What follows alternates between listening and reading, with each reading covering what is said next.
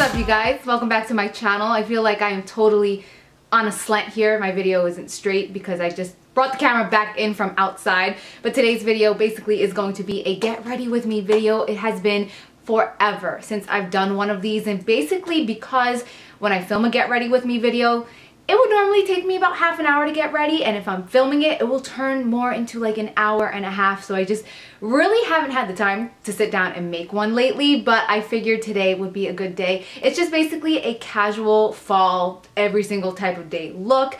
Um, I am wearing Lolita on the lips, which is like my newfound love. And you guys know the rest. You guys know me. Very simple neutral eyes, a little bit of winged liner, dramatic mascara, and glowy type of skin. I'm gonna show you guys everything in this video, the makeup, the hair, the perfume, the outfit. What else am I forgetting? The shoes, the whole process. So if you guys wanna see how I got this look right here, then just keep on watching. All right guys, let's do this. The first thing that I'm gonna do is pull out my phone and bring up my Joel Osteen app. I love to listen to him while I get ready. Then I'm going to apply my eyeliner. I'm using the Jumbo Pencil by NYX in the shade French Fries, love it. Next, I'm going to be moving on to my foundation. You guys already know I'm using my CoverGirl Aqua Smooth. This brush I believe is from Sephora.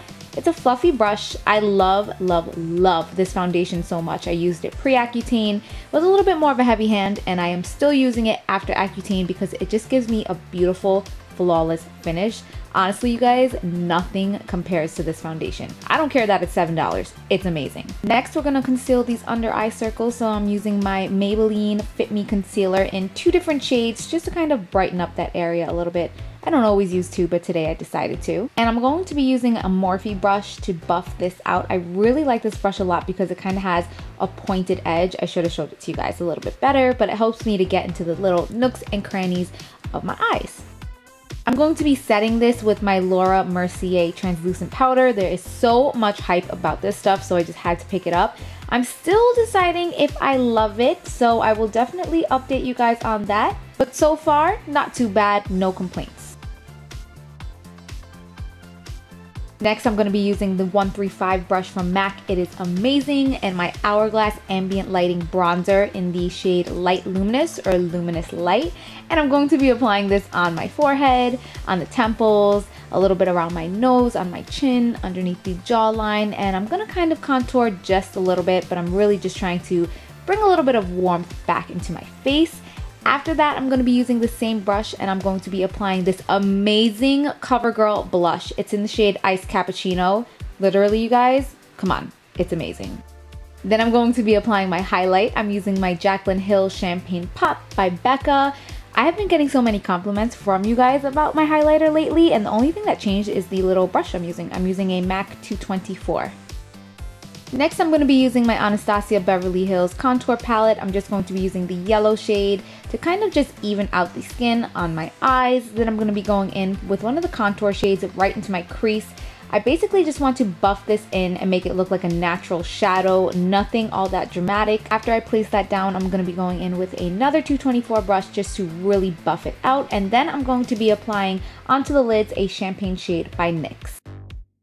It's really natural and glowy looking and I'm going to be pulling that into my tear ducts as well. So next I am not going to be curling my eyelashes because you guys already know that they are permed.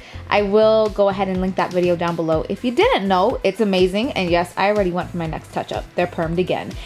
so what I'm going to be doing here is applying my liquid liner. I'm using the one by Jesse's Girl. It's almost as good as my favorite one by Physicians Formula. I like it. It's not as smudge proof, but I believe it's something like $3, so I'm not complaining. Then I'm to be going in with two different mascaras. The first one is CoverGirl's Full Lash Bloom. This gives me the most beautiful long eyelashes, but I like them to look a little bit more on the thick side. So right on top of that, I'm to bust out my L'Oreal Miss Manga until my lashes are on fleek.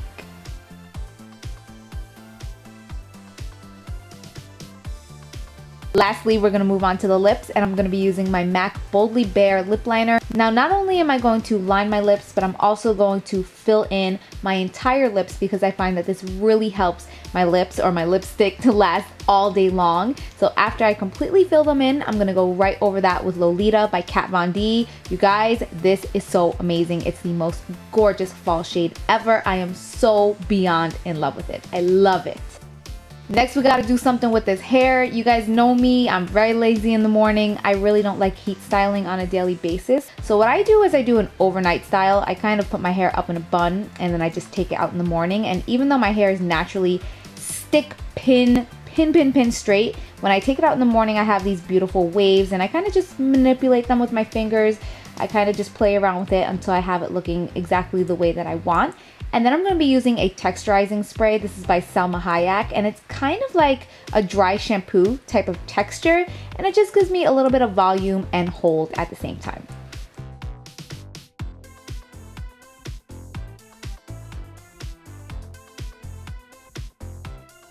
And here's a look at the final makeup and hair, all dramatic.